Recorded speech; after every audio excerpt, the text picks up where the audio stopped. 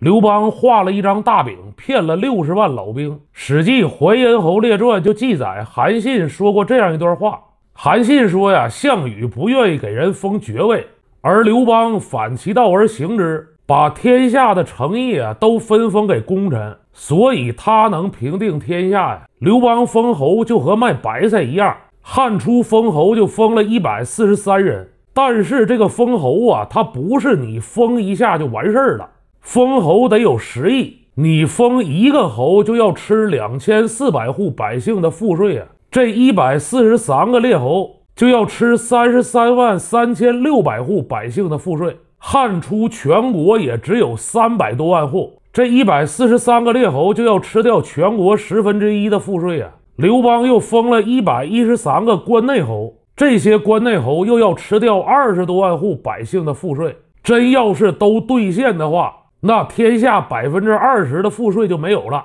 可是刘邦画的大饼远不止如此，《汉书》中记载，刘邦就下诏，汉军全军六十万人封爵位，一个都不能少，都是大夫，每个大夫受田五顷，这六十万大夫啊，就要分出三亿亩土地。而且刘邦还给这六十万老兵的爵位啊，一升再升。到吕后主政的时代，六十万老兵已经都被升成了武大夫，需要授田十六亿亩啊。可是直到汉平帝的时候，大汉全国开垦的耕地啊，也只有八亿亩，就是把全国的农田都给老兵，这还差人家一半。其实刘邦为了建立汉王朝，他画的是一张虚构的大饼。从一开始就没想过要兑现这一块大饼啊，就像掉在驴脑袋前面的胡萝卜，让六十万老兵抛头颅洒热血，为刘邦家族开疆拓土、平灭诸侯啊！《